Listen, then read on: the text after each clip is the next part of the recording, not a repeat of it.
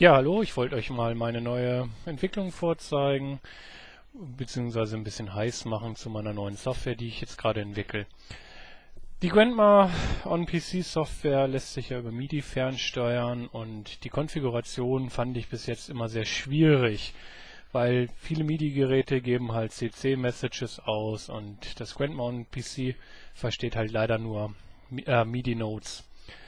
Dazu hatte ich mich jetzt entschlossen, eine Software zu entwickeln, damit die ganze Konfiguration mit diesen ganzen Dritttools, MIDI-Aux, äh, Bone, MIDI-Translator und so weiter entfallen kann. Die Idee ist folgende, ich nehme ein MIDI-Gerät, äh, schleuse das durch meine Software und die Software selbst ähm, gibt den Artnet einfach dementsprechend aus. Hier für Demonstrationszwecke habe ich eine kleine Demoshow vorbereitet, einfach, die dann halt ähm, ja, die Fader dann gleich zeigen wird. Angeschlossen an meinem PC habe ich derzeit ein Traktor Control F1, weil liegt handlich hier auf dem Tisch, ähm, hätte auch noch ein Akai APC 40 hier. Geht letztendlich nur darum, ein paar Fader, ein paar Knöpfe zu haben. Mit dann auch dementsprechend, wie man hier sehen kann, dass die Noten rausgehen und die Fader bei vielen Instrumenten halt einen Control Change rausgeben. Und ja, zeigen wir mal die Software wie geht's, aber zuerst müssten wir mal die Grandma fit machen auf dem Bereich, dass sie Artnet empfängt. Dazu gehe ich halt ganz normal in den Netzwerkbereich, habe hier konfiguriert, dass ich einen Input habe, lasse das im Universum 4 aufschlagen, was da ankommt und ich brauche halt nur einen Eingang. Ja, und somit ist erstmal die erste Konfigurationsbereich schon getan. Ich wechsle jetzt in die Software, sieht noch ein bisschen ja, Entwicklungsstadium mäßig aus. Da wird noch auch einiges passieren. Wie schon gesagt, das ist eine ganz frühe Version der Software.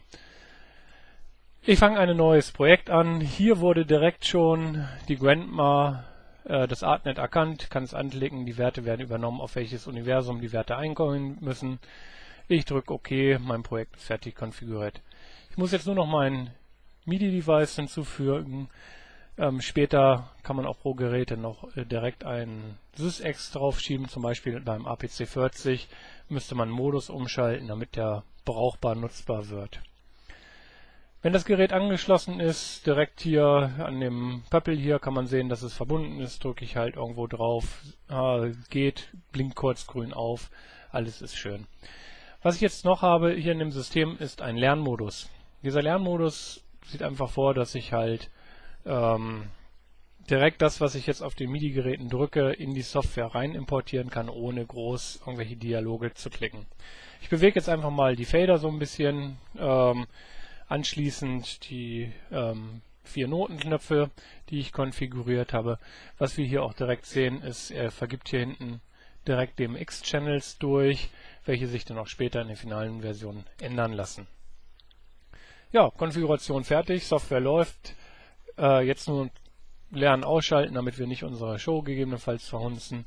Wir wechseln jetzt zurück in die Grandma, äh, brauchen jetzt im Prinzip nur die Inputs uns angucken. Ich mache mal einen externen Screen auf, wo wir mal ein DMX-Sheet einfach äh, einblenden, ähm, in Universum 4 wechseln und ähm, dort sieht man dann halt schon direkt die Fader-Werte, wie sie hier reinfließen.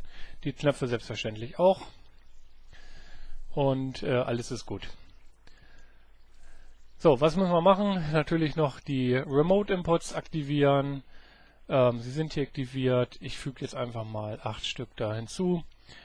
Die liegen halt alle im Universum 4. Fangen bei Kanal 1 an. Ich hatte zuerst die vier Fader ähm, definiert. Executor, Fader, 1 through. 1 bis 4 haben wir jetzt und dann haben wir hier beispielsweise noch Hardkeys, ähm, zum Beispiel Fader Page Up, Fader Page Down. Das sollte reichen zum Angucken. Ja, gehen wir dann mal jetzt in die Executoren. Die belege ich jetzt einfach mal hier stumpf mit irgendwelchen Gruppenmastern. Ich hatte da schon welche vorbereitet. Gruppenmaster 1, Gruppenmaster 2. Die anderen schenke ich mir mal, probiere es aus und schupp, hier funktioniert es. Warum ich jetzt den ähm, Page Up, Page Down belegt habe, ist ganz einfach. Weil, wenn ihr ein normales MIDI-Gerät benutzt, springen die Werte auf den zweiten Page direkt.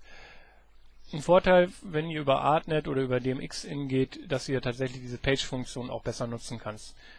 Ich belege jetzt einfach mal hier die zweite Seite mit ein paar andere Felder nochmal voll, damit ich das demonstrieren kann. Also wir haben hier derzeit 100% auf dieser Page-Seite.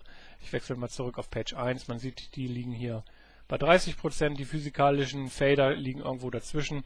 Bewege ich jetzt diese Fader, passiert hier in dieser Anzeige gar nichts. Ja, wir können uns das auch gerne nochmal im DMX-Sheet angucken, welches ich leider nicht gespeichert habe, aber das ist kein Problem.